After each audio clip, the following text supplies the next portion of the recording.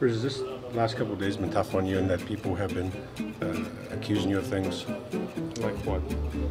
sleeping in a meeting? You know, guys, be honest. I don't know where you get this information, but did you, be honest. Did you read yourself what you're writing, guy? That's embarrassing, guy. It's like soccer net behind me.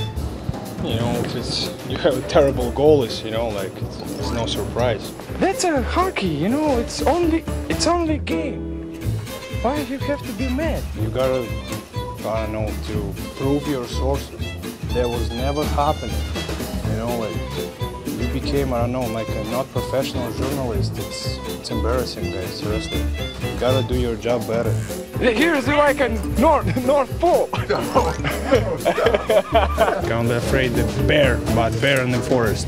Make sure I'm not forget early in the morning my uh, thermos, put some nice tea, and enjoy the bench. Well, like I said before, I like to play here. You know, like uh, was it's very entertaining and like uh, stadium very very loud and. Uh, fa- I want to thank say thank you them for the nice hospitality. Right. I can't tell you anything right now. You know, like I'm like uh, lost in the woods right now.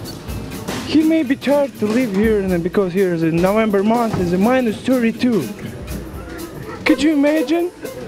It's a eight months in a, eight months in a year snow. I'm only pointed guys who was like involved in this. Know, because it's really embarrassing. And you gotta be better, step up guys. Prove your information, you know. Rely on sources. Find reliable sources.